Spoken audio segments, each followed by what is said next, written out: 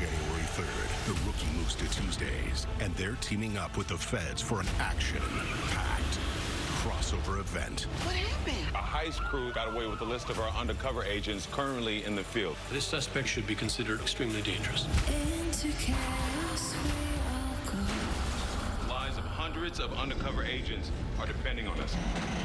The rookie crossover event starts Tuesday, January 3rd at 8, 7 central on ABC.